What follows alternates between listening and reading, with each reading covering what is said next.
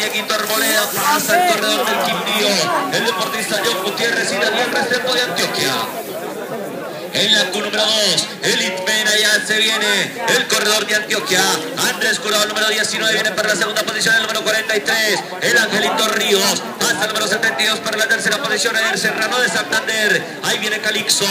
Atención que viene cuarto con el último tiquete que lo lleva para la semifinal. Él va entrando.